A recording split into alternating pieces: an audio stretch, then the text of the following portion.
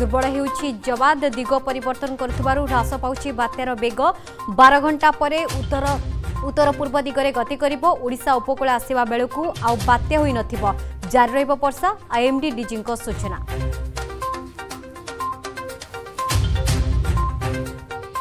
ঘণ্টা প্রতি চারি কিলোমিটর বেগরে আগুক বড়ুছি বাত্যা প্রভাবে উপকূল ওড়শার বর্ষা পারাদ্বীপে সর্বাধিক বাষঠি মিলিমিটর গোপালপুরে তেয়াশ মিলিমিটর বর্ষা রেকর্ড পুরীরে বি বর্ষা আসন্তকালি গভীর অবপাত রূপে পুরীর নিকটতর হব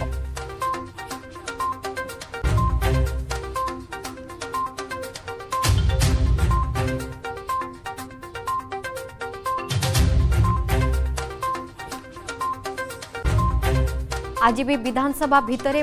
ବାହାରେ ମମିତା ତାତି ଗୃହ ଭିତରେ ଗଙ୍ଗାଜଳ ପକାଇ ଘଣ୍ଟ ବାଡ଼େଇ କଂଗ୍ରେସର ପ୍ରତିବାଦ ମନ୍ତ୍ରୀ ଦିବ୍ୟଶଙ୍କର ମିଶ୍ରଙ୍କ ଇସ୍ତଫା ଦାବି କରି ବିଜେପିର ନାରାବାଜି ଅପରାହ୍ନ ଚାରିଟା ଯାଏଁ ଗୃହ ମୁଲତବୀ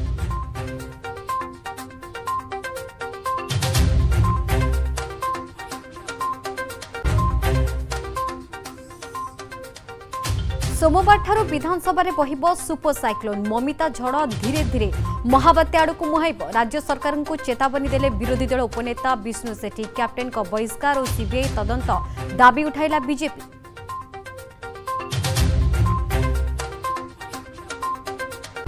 विमान बन्दरे स्क्रीनिंग और टेस्टिंग राज्य बाहु आसु नजर कोरोना को सतर्क गरी रमारमण कहिले भयभीत नहु नियन्त्रु वैक्सीन